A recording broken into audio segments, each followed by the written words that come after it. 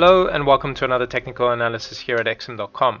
Today we'll be looking at gold on the daily chart. So zooming in we can see that gold's negative tendencies are picking up again after the yellow metal found some footing around the level of 1687, logging a 9 month low ahead of the significant support zone of 1660 to 1682.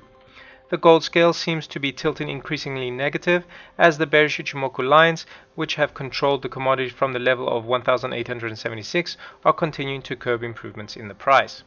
The falling 50 and 100 day simple moving averages and their recent bearish crossovers of the 200 day SMA appear to be bolstering the doom and gloom in the precious metal. The short term oscillators are also reflecting stubborn negative sentiment.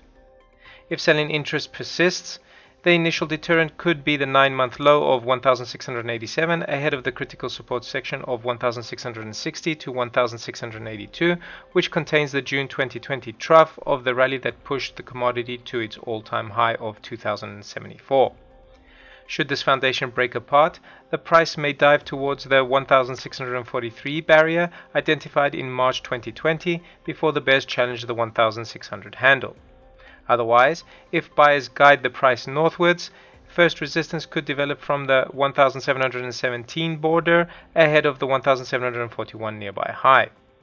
Next, the red Tenkan-Sen line at 1749 may provide some friction prior to the key resistance band of 1757 to 1764. Successfully overstepping this too, the bulls may then hit the blue Kijun-Sen line at 1778 before propelling for the 1816 resistance.